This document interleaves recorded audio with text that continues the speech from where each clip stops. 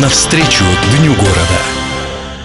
Уже скоро свое рукоделие в Орле представят сотни районных и приезжих мастеров. Выставка-ярмарка современных и традиционных ремесел в День города развернется на прежнем месте, на площадке перед входом в городской парк культуры и отдыха. Там ее проведут в четвертый раз.